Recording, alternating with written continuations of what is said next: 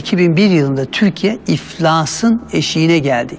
IMF'nin desteği olmasa Türkiye iflas etmişti. Vatandaş zamdan belini doğrultamıyor. Hazine ve Maliye Bakanı Mehmet Şimşek'in ekonomi politikası Avrupa'da övgüyle karşılanıyor. Türkiye'nin rasyonel bir zemine dönme dışında bir seçeneği kalmamıştır. Uluslararası normları işaret ederek adım atan Bakan Şimşek vatandaşı çözümsüzlüklere sürüklüyor. Vergi ve zamları artırarak ekonomik krizi vatandaşın omzuna yükleyen politikaları ise Avrupa doğru yol olarak nitelendirdi.